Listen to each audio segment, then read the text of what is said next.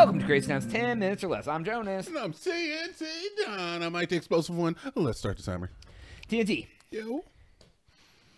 There was a lady Ooh. in Colorado Okay. uh, who got arrested by the police. Never been to Colorado, Jonas. I have not been in Colorado either. I hear it's nice. Rockies, right?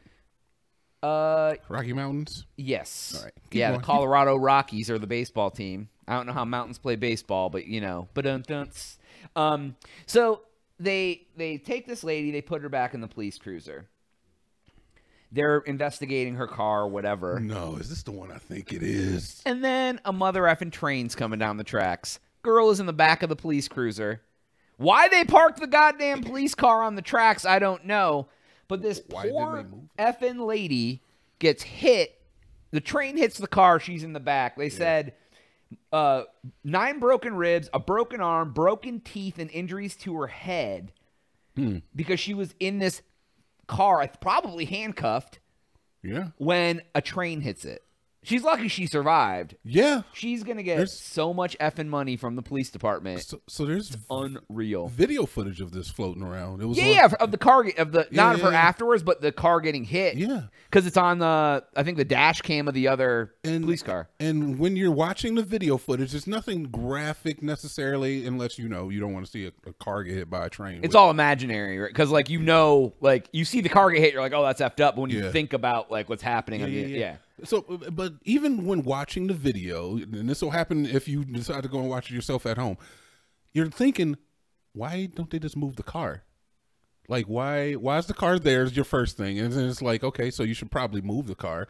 And it's like trains, you know, they take a while to get there. You know, usually trains take a little while. because usually there's gates that go ding ding ding. That tells you the train is w- within 30 seconds from coming. Yeah, but why you- wouldn't your first response be run to the car, get in, and move it? Uh, so, so I don't think this this particular instance those gates were there. But on the same note, or at least I didn't see them or they weren't activated or whatever. But on the same note, it's like you got ears and you got eyes and you can see a train light coming down the road for at least at least three to three to four minutes.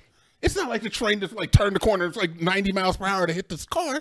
It But didn't do that. if they're in a more rural area and it's dark and they're messing around searching her car, you may not hear the train coming because not all trains are super loud, right? And then it, some trains are going so fast.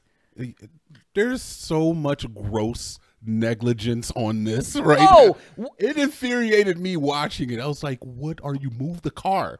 Move the car I think the most negligent thing is why would you ever park your car on, on a train, track? number one is that. Number two is why aren't you moving the car? Okay, well, and here's the second part. If I was a cop and I did park my car on train track, say, when I put someone in the back, at that point, I would at least back it off the train track. Because in my head, I'm like, I don't want to leave this person in a car on the train tracks. bruh Like, bruh that. there's, there's so many wouldas and shouldas that you could you could i i mean I, honestly i just hope the cops get fired honestly i hope Oh, and that lady, I mean, thank Yeah. God she survived. She is going to get paid. yeah, i bet they won't bring her up on her charges Oh, yeah. They'll be like, you serve, you haven't, yeah. You, Be like, you- uh, look, we're gonna drop the charges. Uh, any any chance you want to drop yours? No, and it's, no, I'm not dropping my charges, Ossifer. Yeah, I don't even remember. I don't even think her charges were super serious. No. Like they were. I mean, there were obviously a reason they need to put her in the back of the car or whatever. But I couldn't even fathom like Have you ever been brutalis- brut- brutalicized by the police, Jonas? I have not. you think of an- I've an never. instance where I've never really had many experiences with the police. Okay. Um, I uh, let me see. Have I? Let's see. I uh, I've been pulled over for speeding a few times. Okay. Um, I know a story about a young lady that I knew. Um, this was a, an ex girlfriend of a, a mutual friend of ours, and uh, that she got pulled over by the cops, and then uh, she was smoking a joint at the time. okay. It was in the ashtray. Uh huh. The cop pulls her over and says, "Is there any more weed in the car?" And she said, "No, just this joint in the ashtray." The cop picks the joint up, looks at it, hands it back to her, and says, "Safe driving." Jonas, I shit you not. She was white. she was a woman too. I didn't say nothing, but I shit you not. that is nowhere near the treatment that me or you or majority of these the people on this planet would experience. I do have I do have a uh, story similar, but not with weed. okay. So I was I was coming home from a, a friend of ours' house. I was driving on the turnpike on Memorial Day weekend. Okay. I was- Heroin. yeah, yeah, exactly. And I was I was speeding. It was it was like it was like midnight, and I was speeding. I was going probably like 80, 85 or something. Not not like ridiculous because I think the Yeah. speed limit seventy five on the thing. I get pulled over. The cop walks up.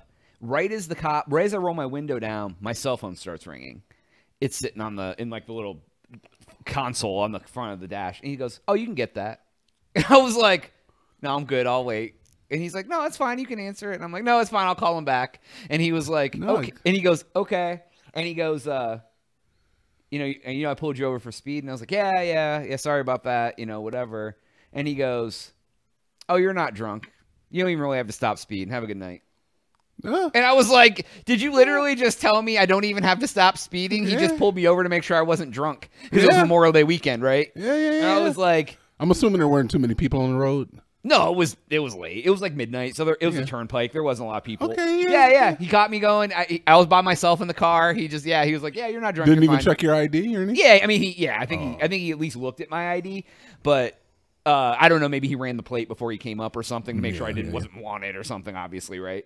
Um, but yeah, and he was like, yeah. I just I just remember him going, yeah. You don't even really need to sp- slow down. You're fine. I was like, oh, Yeah, yeah, thanks, yeah, yeah. officer. now I have to admit, Jonas, like, uh, I, now if you're expecting me to come with like this deep rooted like just racism story, I don't really have one because I've never really had any issues with the cops, to be honest. Well, The- yeah. I guess the, one of the weirdest interactions is when I had neglected to put like my uh my registration sticker on the back of my car. Oh, car. I've had one of those before too. Yeah. And it was like the cop pulls me over and he's like, "Uh, yeah, see your registration is expired." And I was like, "Oh yeah, I have the sticker right here. I just haven't put it on yet." It was like I just got it. I'm on my way to work, you know. And he was like, "Oh, okay. Well, just make sure you have it on. Have a nice day." And I was like, "Oh, okay." I've never really had an issue with the cops. yeah. I've been locked up too, and I still feel like the cop Well, was totally okay. justified. Like I'm not I was like, say "Yeah, I effed up." I'm not gonna ever say that I don't believe that people get mistreated by the police. Yeah. I also feel that like your attitude plays a giant part in how the cops treat you sometimes. Not Yes. saying that that that is a end all be all because I'm sure there's people who Yeah, are completely polite that get effed up by the cops. Yeah. But I feel like in any situation, not even dealing with police, if you ha- come to it with a good attitude and you're being kind and polite, you're less likely to have very adverse effects, right? Uh, I'm not saying that that isn't a, a, a rule, right? Yeah, yeah, yeah, yeah. But, uh, but you know, if the cop, if I came up and and the cop was like, and the cop was like, "Hey, can I see your license?" Nah, I'm not gonna do that. No. Like immediately they're like, "Oh, here we go." Like, you know what I mean? Like I feel like the cops, you know, if you give them attitude immediately, you just start the whole effing situation off wrong. Okay, so if you are in the wrong for something, yes, but I do 100% believe in, in, in standing up for your your your rights because you do have them. Oh, absolutely. And if you if you um, I was going to use a Neil Zora Harris uh quote, but I can't remember it. That's fine. But uh, apparently, I'm just saying is that they will abuse you if you allow them to. Oh yeah, I mean it's the same with that. I mean they're in a position of power; they'll use you as much as you'll let them. Yeah, and uh, even if they're interrogating you, you know they'll lie to you because they can do that. They can lie to you all they want. Yep, they can lie. So I I agree with people like you see those videos of like people recording the cops and then the cops get all bent out of shape about that. Sorry, buddy. The law in this country is is that I can record you because this is public. Right. know? So you can't do anything about it. And the cops get bent out of, out of shape, and then they end up taking that guy into custody. And it's like, oh well, he just he's going to get a lawyer, and he's going to sue you Right. because you Yeah, exactly. unlawfully detained him. Yeah, exactly. Well, you can't detain someone because they're recording you and you, you want them to stop. Exactly. You can't do that. Sorry, that's not the way the country works. So there's there's situations like that where I'm like, yo, non-compliance is probably one of the better things you could do because yeah, let it escalate and let me call my lawyer. Yeah, it's just it's just an awful situation because especially with all the stuff you hear about that happens with cops, right? Like, Yeah. and and and you know, I try not to like just you cops deal with really bad people. Their job is dealing with really bad people. Yeah. So like so like they have to assume worst intent Yeah, yeah. They have to protect themselves. because They you want to have make a it home. goddamn gun. They don't know you from Steve. Yeah, like they're, you, they're trying to make it home tonight. Right, because they it. could walk up to you, you start giving them ish, and then you have a gun in your lap, and you're just like, boom. Like, Like and, and that has happened. yeah, Yeah, exactly. There's you've seen stories of they pull someone over and he happens to be wanted. He has a gun. They co- knock on the window. Boom! Shoot the cop. Drive off. Like it, it happens. So it's like uh, my mindset every time I've had to interact with a cop has just been like, be nice, be kind, do what they ask if it's within Yeah. reason, Yes. right? Like I'm not. I would never say be antagonistic, but if they're antagonistic to you and you're in the right, you gotta stand up for yourself. I did have that one guy ask me all those weird questions I talked about a long time ago, where he pulled me over. He was like, "Is there any large sums of cash in the vehicle?" And I was like, "What do you? Have you ever done drugs before? Ever?" I was like, Yeah. "What is happening right now? Why are you asking me all these weird questions?" so, anyways, that's all time we have for today's episode. Please go to thecrazytown.com, subscribe for Jonas. TNT. Uh, we have